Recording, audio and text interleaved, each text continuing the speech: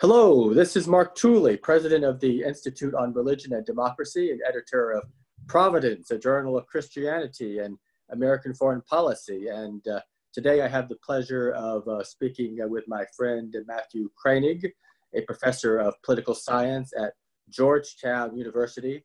And also, uh, he may need to correct me on his title, but I believe he is a fellow at the Atlantic uh, Council in Washington, D.C he has just published a uh, important uh, new book, uh, and let me make sure I get the title uh, correct here. Uh, the Return of Great Power Rivalry, Democracy versus Autocracy from the Ancient World to the US and China. So obviously extremely timely right now. He previously has published a book on um, ethics and nuclear weapons, and Providence, our journal, was pleased to host him several times to uh, discuss that very important issue, which typically is not addressed very thoughtfully in uh, Christian um, thought circles. So, Matthew, thank you so much uh, for joining us. Well, Mark, it's really my pleasure to come back and uh, chat with an old friend. And um, uh, yeah, excited to talk about the new book. And um, for the record, the title at the Atlantic Council is the Deputy Director of the Scowcroft Center there. But uh, thanks again very much, and I look forward to the discussion.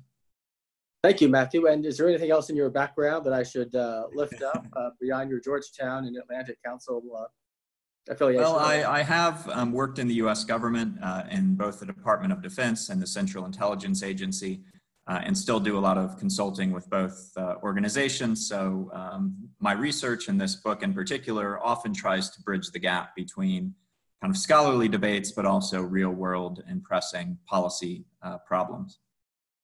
And I should point out uh, personally that uh, the IRD office is right across the street from the Atlantic Council. And uh, my office, uh, I literally, uh, sometimes several times a day, see uh, Matthew walking down 15th Street, always looking very busy and very dapper as he heads towards his office at the Atlantic Council.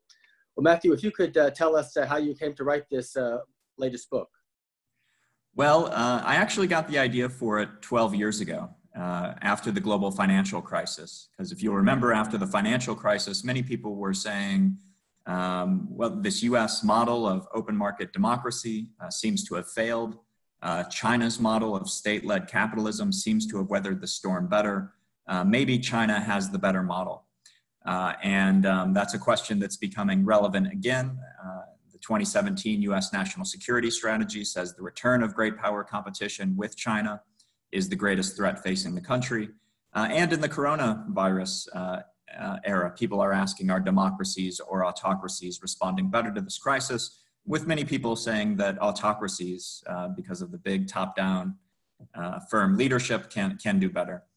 Uh, so that's how I came to the book. And um, as, as we'll discuss, I, I, came to the opposite conclusion that actually democracies tend to have the advantage in, in international politics, and including in the COVID era. Now, obviously, uh, your book was written uh, before the uh, pandemic. Uh, has it uh, has coronavirus affected your overall perspective? Um, it, it, hasn't. I think it's actually reinforced many of the themes in the book. first, the theme of the book is the title's "The Return of Great Power Rivalry," and I think we've seen that rivalry is alive and well with the United States and China today. I think the pandemic has actually amplified it uh, with the uh, wars of words, China accusing the United States uh, of causing the, the pandemic through their disinformation, saying it was started by the US Army. Um, the United States, of course, uh, rightly blaming China uh, for the pandemic, uh, fights in the WHO over control there. Um, so the return of great power rivalry is alive and well. Um, and second, you know, some of the initial early reports uh, said, well, China seems to have done better with this. Yes, they might have caused the crisis, but they've put in force tough measures. Uh, maybe it involved putting people in their homes and other uh, uh, dis- distasteful things, but they've gotten this under control.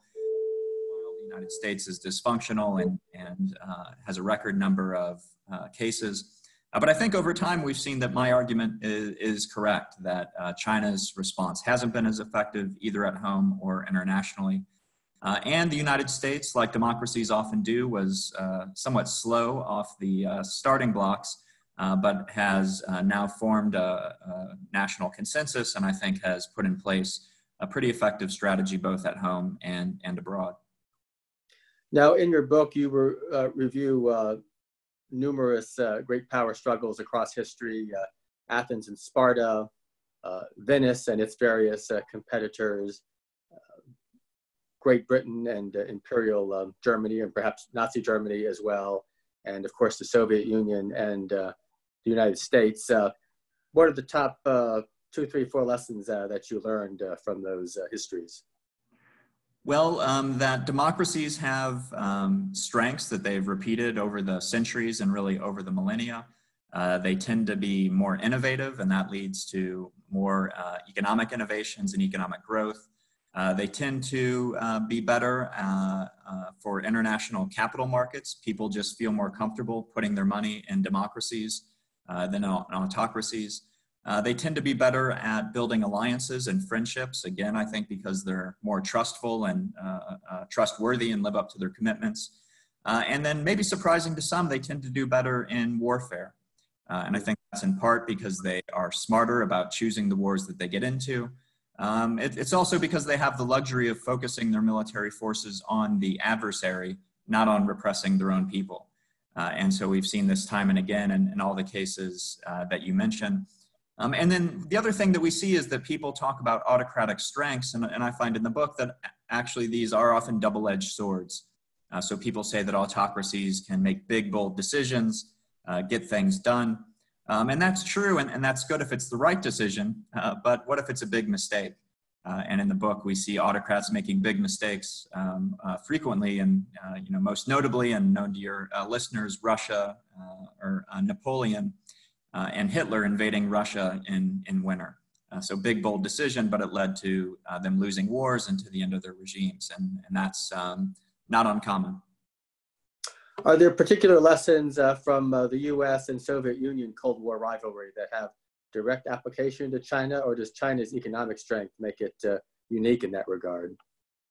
It's a good question because I think China is a more formidable competitor than the Soviet Union ever was.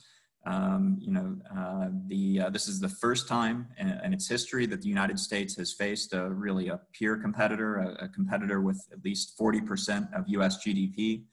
Uh, so it's um, uh, more of a peer. Uh, but I think that some of these uh, lessons still hold. I mean, the United States continues to have, I would argue, all of these economic, financial, diplomatic, and military strengths.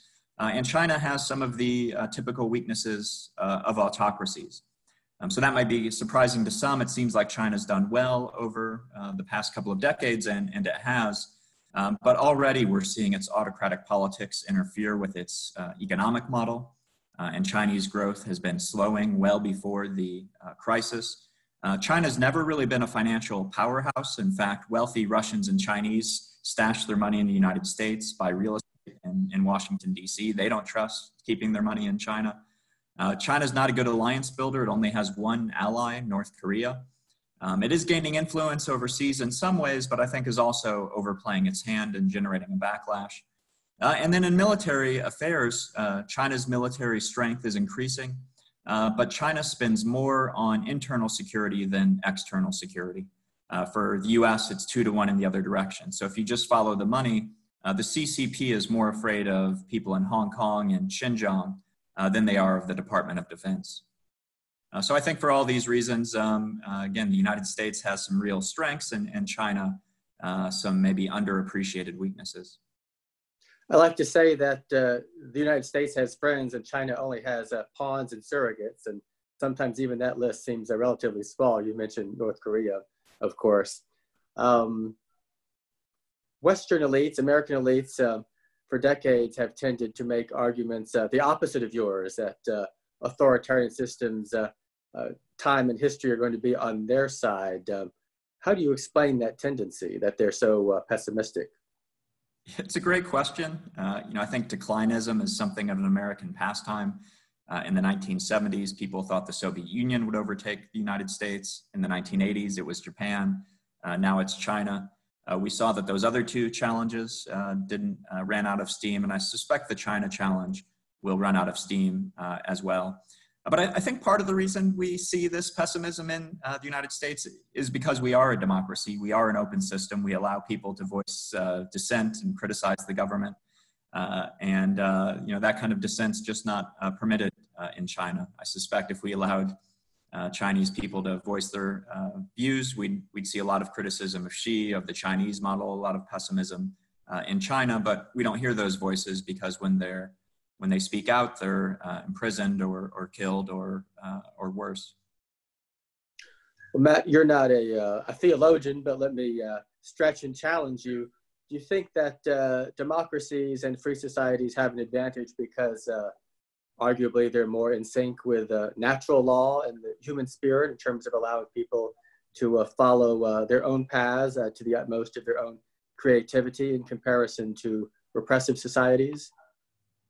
It's a great question, and uh, you're right. I'm not a theologian, although uh, my wife and family and I go to Christ Church in Georgetown. so think about these issues, and as you've talked about, I've thought about the kind of moral and issues surrounding nuclear weapons. Um, so democracy is, is usually defended because uh, it protects uh, freedom and, and human rights. Uh, and I think uh, that's true and, and one of the strengths of democracies.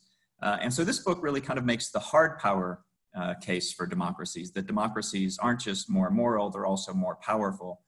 Uh, and I think the reason um, why is for part of the reasons uh, that, that you mentioned, that if you want to be a powerful society, you have to unleash the uh, talents and uh, ambitions of, of your people. Uh, if you're repressing them, repressing uh, the human spirit, that's not good for the individual, it's all not good for the society, and it's not good for the power and influence of the state on the international stage. And then finally, Matthew, um, once we get through uh, coronavirus, does America in the short term emerge uh, stronger or weaker, or is it just uh, too early to say? It's a big question, and I think it's too early to say. Uh, but I do think the United States has these consistent strengths um, on its side. Uh, you know, the Chinese growth model uh, was so artificial because of the heavy state in involvement. And so, with this spectacular growth that China has had since the 1970s, uh, they haven't gone through the boom and bust cycles that you go through with a market economic system. Uh, so the United States is uh, used to this. You know, we have a decade or so of expansion and then a retraction and then another decade of expansion. So we've gone through these boom and bust cycles. The CCP has never really experienced this. Uh, so it's really uh, an open question how they'll respond. Um, and the model in China, uh, the model of domestic political stability, for years has essentially been the Chinese Communist Party saying, stay out of politics and we'll promise you continued economic growth. Uh, now they can no longer make that promise. Uh, China's reporting its worst economic numbers since the 1960s. Uh, so I think that raises really fundamental questions about the stability of the Chinese regime. Uh, so uh, I wouldn't trade places. I think the United States, uh, for all of its faults, still has fundamentals that are much stronger than those in, in China. Thank you, Matthew. Uh, your book sounds uh, wonderful. Do you have a copy there that you could possibly hold up? In fact, uh, I do. One, one moment.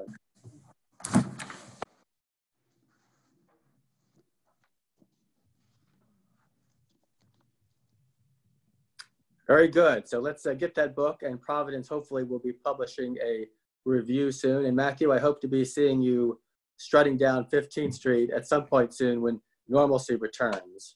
Yes, uh, look forward to getting out of our houses and uh, meeting you in person sometime soon. Thank you, Matthew, again. Thank you, Mark.